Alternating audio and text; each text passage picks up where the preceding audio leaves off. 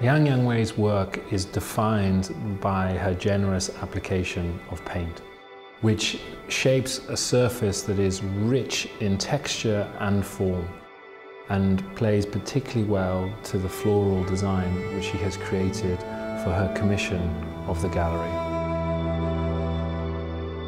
Liang Yuanwei visited the home of Rolls-Royce here in Goodwood in autumn of last year and she was particularly taken by the colours and the textural impression of the surrounding West Sussex countryside.